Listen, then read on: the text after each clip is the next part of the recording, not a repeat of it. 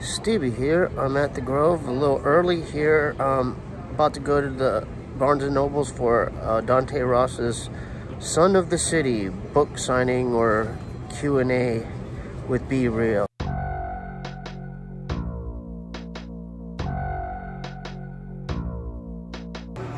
So I still got some time, um, 30 minutes, and I've always wanted this uh, empanada because there's always a line, and uh, maybe I'll check one out. Maybe get an empanada, empanada before the book signing.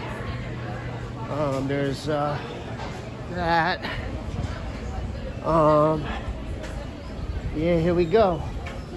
Empanada.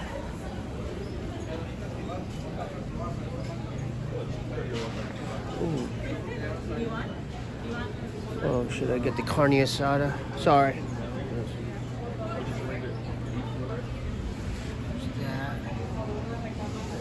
Hi. Which one is the the good one? The beef, that's our number one. What about the carne asada? That one's good too. If you like spicy, Yeah, let me get a. uh, But the beef is the best seller. that's our number one. That, That's your number one. one. All right, let me just get one. The beef, Yeah, the one beef. Thank you. you're welcome. Cash or card? I got card.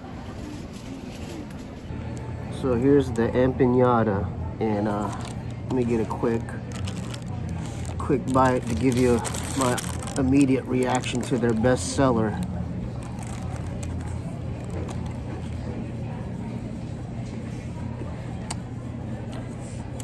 Not bad at all. Get your empanada today at the Grove. shoulder because it is for our event. So we need all of the chairs. Here you go. Thank you. Thank you so much, guys. Hello. Just watch this set up.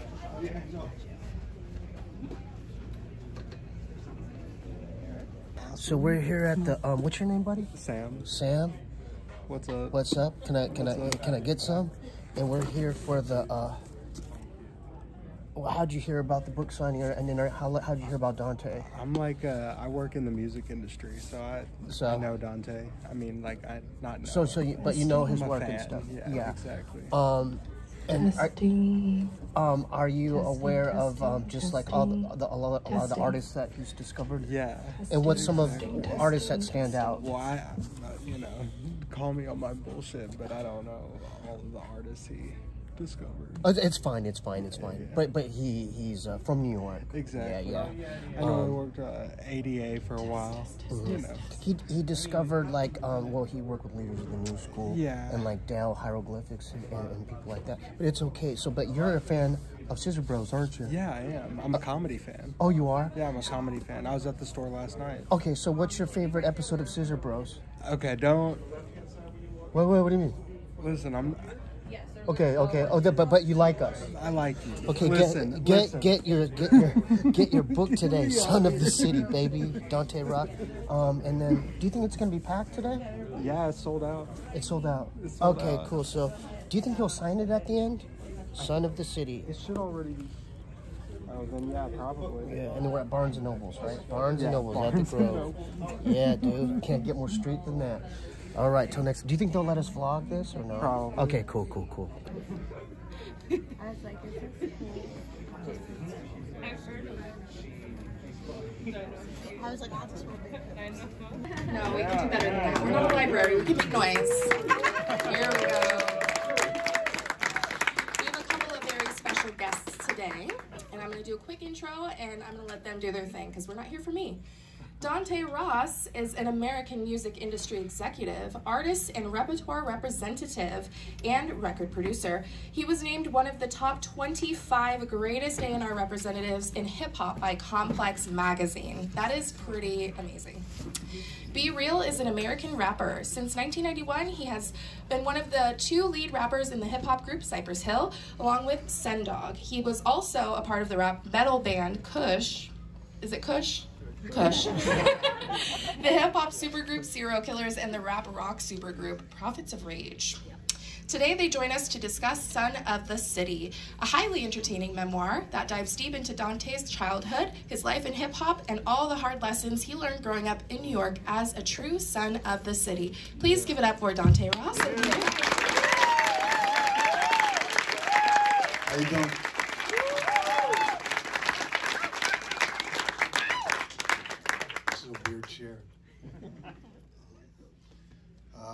Thank you because um, two things. One, you're my friend forever and a day. And Cypress Hill finally followed me on Twitter after knowing me for today. And I did feel that. Like, I feel like I made the I made the big time. I want to start off by saying congratulations. Um, we've known each other for a long time, and it's great to see this happen because, you know, we started off early in the game, and to see someone telling their journey, you know, navigating through, you know, the the ever evolving person known as Dante Ross. Um, it, it's a great story, you Thank know, man. and and I'm glad you're telling it. Thanks, man. I mean, it's um, goddamn. I known you when your name was Louis, and you weren't in Cypress Hill yet. And um, Jesus Christ, just to see all the iterations of you is is uh, super incredible. And I've been a big fan forever. So it's an honor. And, and B is also my friend who makes fun of me all the time. So so so that's good too. So. Um, I don't know. What should we talk about the book? I don't. I read from the book in New York, and I didn't think it went that well. So I don't think I want to read from the book. Um, so, so I think we just talk shit instead. It's a, more be more entertaining. Well, it's it started off as a collaborative um, endeavor with your father, Yep. right? Yep. And unfortunately, before you you got on the journey, he passed. Yep. So this is like a tribute to him Yep. in telling your journey. And I gotta say, you know, like from the from what I've read, and um, you know, going through your childhood and bouncing back and forth from New York to California to Humboldt County of all places, good place Yeah, to be. Weird fucking place for me. To. Um, the the quality time with your father allowed you to be open and to go on this journey and to not like box yourself in or foothold yourself to anything and i think that was very key you know that that time with your father when you come from broken or fractured family you don't necessarily get that time and i feel like in in some of the writing it said you needed that For sure. I mean, I needed to know there was a life outside of New York. You know, I just grew up on the Lower East Side, and I didn't know the whole world wasn't fucking crazy. And um, and and my dad was crazy. Don't get me wrong, but he lived in California, and he lived up in Humboldt and in San Francisco. So I got to spend a lot of time in a place that was completely different than New York, and expanded my horizons. I've always been pretty open-minded, and it kind of made me look at life a little differently. I realized that New York wasn't always the be and all of everything and um, there was a world much bigger than just the neighborhood I lived in, which was, which is crazy because where I grew up, like you know, people are always trying to take your shit, and you go to Humboldt County, no one's trying to take your shit. Um, you know, everyone's maybe trying to give you stuff. So, um, you know, like it's totally different, like mind uh, expanding kind of experience. you know, I felt like, you know, in, in the journey trying to find yourself, Yeah. right? As as we all do as young men getting into trouble, and I never got in trouble. well, you know what I mean. But getting exposed to the things that you know our, our parents try to keep us from, and when you when you come from a broken household, you know the streets are calling to you more than more than anything, and you're adventure into that. And some of the characters that sort of helped you evolve into the the natural A and R that you became, you know, like exposing you to all this different music. I mean, I, I, you know, like a pretty open-minded kid, and I grew up like in a pretty wild neighborhood. But my neighborhood was like almost all entirely Puerto Rican, and then the punk rockers showed up, right? So I got to see kind of punk rock come to life around me, if you will. And by the time I was 14 or so, 14, 15, I discovered bands like the Specials and the Clash, and I saw this whole world that wasn't just my neighborhood, and I could literally skateboard over a couple of blocks and get out of the mayhem of my street, my block. Um, and I was one of those kids who was outside his whole life because I didn't like being inside because my house was fucked up. So I wanted to be outside, and I kind of, um, you know, I was raised by kind of the things around me, whether it was my friends in the Bad Brains who, who kind of befriended me as a child, or you know, um, hanging out with the Beasties and and people like that. I kind of learned a, a whole lot more about life than just my obvious existence, and was exposed to a lot of music as a kid. I figured out how to get into every nightclub for free, and that's like the secret to being an A and R guy. So I saw every band ever. I wish I knew that trick, because like you know, I had to have friends at the door, like my friend Esteban Oreo back there. Esteban, what up? Uh, he used to let me in the clubs, but like that, you know. I didn't get into that many, but not, unless he was at the door. But you know, the the other the other thing is is that I saw that was on your mind a lot was the the fact that there was no stability yet. You know, every every time you bounced around, there was always this thing in in the back of your mind like. What are we gonna fucking do? Like, when's, what, when's it gonna fucking go shitty again? yeah, and it seemed like that was always the push, always the drive, and and it, and it was it was cool as your friend learning about the punk rock connection because like when when we met, you were already past that into I, I was wearing a gold chain. yeah, always already into the hip hop aspect of it. But a lot of people don't know uh, punk rock connected with hip hop. Oh, yeah. in those days, like in the early Yeah, early in, the, in the early '80s, I think the first like white people to embrace hip hop were all downtown kind of punk rock, new wave, trendy people, um, and we kind of like it was the new thing. You know, it was cool to us, and I would say like it was kind of unfair because like as a white kid, you could not dress like Rick James or George Clinton. You got laughed at. Like if I had leather pants and nine belts. But like that shit was always cool when Rick James did it, right? And we were punk rock guys. We were like, oh, I really like the Clash, but Rick James is fucking cool too. So you know, it was um, it's two sets of rules, and um, those cultures where I lived were side by side. We went to the club and we heard new wave and punk rock records, and then we heard Grandmaster Flash. Yeah, I mean, it, it, it was sort of similar here, but like I'll tell you what, when when you know your your your realization when r- listening to those Run DMC songs that flipped that flipped your whole that flipped your world from you know punk rock to hip hop. That was the same thing that happened with me. Yeah, me and you were talking about that like a couple of months ago. Yeah, because I was into metal and and oldies and and different things, you know. Because I I think, and what was dope, what's dope about the book, is how you put the playlist of what you were listening to in the evolution of Dante. Right, right. You know, and and it was like wide open. There wasn't any one thing you were leaning on more than the other. But what was dope was the punk rock connection into now this Run DMC, Man. this phenomenon. Run And- DMC, like I don't know, most of you, some people are as old as me and B. Um, no one's as old as me. I've come to realize.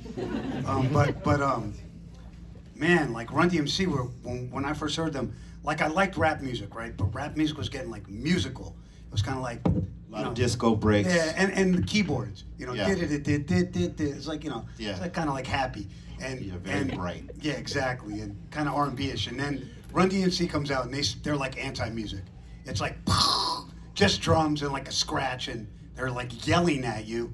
And I was like, this is like punk rock. Me and my friends, and Yeah. and it spoke to us. We were like, I was into rap music, but when I heard Run DMC, it became a lifestyle for me, right? I was like, oh shit, and they dress like the audience, or like Grandmaster Flash looked like a broke Rick James, who I keep talking about for some reason, and um, he was pretty dope, Rick James, and and um, Run DMC didn't. They dressed like the guys who might beat you up on the train, right? And you were like, oh shit, these guys are fucking dangerous. It was cool. they they flipped it back to the street because it's Right. like you were said all it's like you were saying all the artists before them the generation before them they were trying to emulate like all the funk bands Right. with the leather fringe and all that stuff and here these guys come which was considered thugged out at the time It was New York. thugged out. and that just it flipped the game on its head I mean, I had a leather blazer. You know, I had to go get one. I was like, I had my Adidas, my shell toes. It was like, you know, we all, we had our, we wanted to dress like that. We were a little too soft to quite dress like that, but that we had ever seen mosh pits or stage diving or crowd surfing. People were jumping off the balcony, and that was to our shit. Like we didn't expect it. We're like going to open for the Beastie Boys, and it was just a wild fucking show. and that was a weird moment for them because that's right when Check Your Head's coming out, and Yeah. they're coming off like a flop, kind of. And Yeah. I remember the show was Paul's Boutique. right, Yeah. exactly. And I remember it's um, Beasties, Luscious Jackson, and Cypress Hill. Yeah. That's a weird ass bill, right? And I'll, and I'll tell you, you know, like the the friendship that we created from it, you know, allowed us to eventually take a slot on the so the the Check Your Head tour. Yeah. which which was crazy. And, and you know who knew who knew that? I mean, it all we didn't know that you were running with them. I mean, it all makes sense though. Um, Yeah. When I think about it, because it's like rap. The rap world was like this big back then. Yeah. You know, it was small, so everyone kind of knew each other. Like, uh, and when you think about like, Cypress Hill music and the Beasties, and even myself. It's kind of all makes sense. It's all got kind of a rock and roll mentality to it. Yeah. Um, at its core, it's kind of punk rock. Some. Yeah, I mean the Beasties. Yeah, their first first uh, entrance in the game was the the Cookie Puss, right? The- Yeah. That's a, that. It's it's just a trip, like because when when we're coming up here on the, the East Coast, I mean the West Coast, we don't know that part about the Beastie Boys. We just see these crazy ass white boys rocking, Right. you know, the the hip hop style, and we fell in love with that. And uh, you know who we did at the time when I, I met you, I didn't know that you had a connection there, and it was just cool to see the different relationships that you had with all these it's, guys. It's funny too because I remember they took De La on tour too at one point. So they took, um, they also took Tribe on tour later. So they always kind of, we always kind of liked the same stuff and knew all the same people. And I, um, I want to say I might have played Mike D Cypress Hill, the demos before it came out. I think we were in Long Island one time and I just had it. I we were like at a summer house and we play. I had the tape and I played it because your tape also. Um, Muggs was like, copy that shit and give it to all your friends. And Yeah. I copied it and gave it to all my friends. So when you guys first played in New York, everyone, I remember the show, everyone knew the fucking words. And you came out, you had the fucking reef thing on, the big weed thing. Yeah, that's right. And all my boys were up front. They were like, ah, they knew all the words. It's kind of crazy. at SOBs. Yeah. that was like our first show there. Yeah.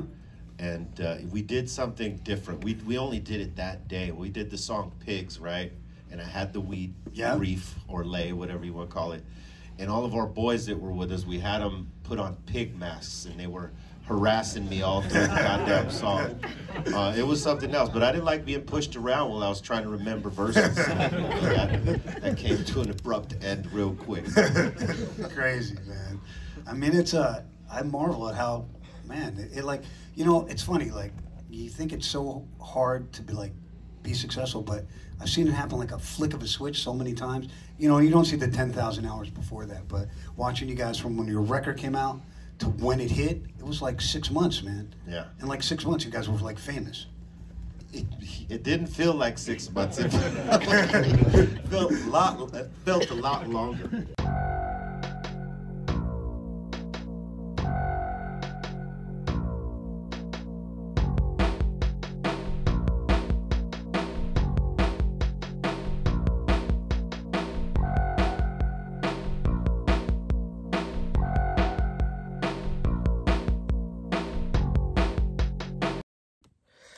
So, Stevie here. My review for the night is nothing but positivity. Um, I got to sit down and listen to two OGs in the game, uh, B-Real and Dante Ross. He actually made me feel good because uh, I, I stayed in line to get it signed. And he, he said, um, he spelled my name wrong. Uh, he said, Tu Kwang cool name, my guy. And he, he, he mentioned that um, when uh when he looked at my name and he he's and that made me feel good. Um, I couldn't get B Real's autograph, although because it, it was Dante's night, but uh, B Real was there the whole time. It was basically like a podcast. Well, obviously you you you've seen the footage, but uh, um, I think I got the most footage out of anybody. It was it was sold out, but um, I got the most footage out of everyone there. Um, and but my arm started hurting. I was just like, oh, and then I could tell people were getting a little annoyed because it was a pretty. I, I you know, it's understandable to get like maybe two minutes tops, but I think I got, I, I think I clocked 12, 12, 13 minutes worth of footage. But uh, get your copy of Dante Ross's Son of the City today. Um, I really had a great time. B-Real was awesome. They talked a lot about, I mean, I, I almost jizzed in my pants. I mean, they were talking about all kinds of stuff that I love. Beastie Boys, Cypress Hill, all that shit they talked about. Get your copy today. And thanks for, uh, comment below if you like this kind of footage. Um, it is, it was like, I guess uh, the first, um, God, I hate this, these little, God, there's like, it's like bacon fat right here, huh? Um, yeah, it was my first book signing vlog. So thanks for tuning in. Love y'all. Comment below, share the video, subscribe today. Love y'all. Peace. So this is uh, Ernie, and he's a full-grown daddy long leg, and uh, I, I raised him when he was little, Um, and he's grown. I mean, this guy is huge now, and I, I've just, uh, I've just let him chill in the bathroom, and uh, this is his hunting ground, and he's obviously uh, been uh, doing good because uh, he he he runs this whole area. Um, so, oops, sorry, Ernie, watch it there. Um, so that's Ernie, and he was a tiny little guy before, and but uh, as you can see, he's, uh, I mean, he's created these little webs as well. So, uh, hope you're having a good day, buddy. Till next time.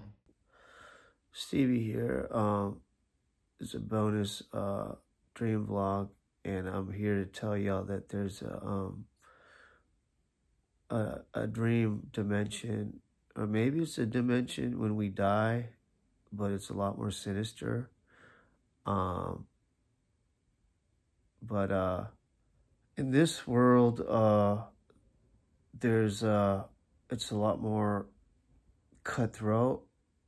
Where there's people, there's you know, it's just like this world. You know, there's shopping centers, cars, people. You know, but um, I dreamt like there was a Hunger Games like scenario where I literally um they started me off with like I had like the other dude, I think it was my friend Scotty from high school, but I had something like I had something like this, you know?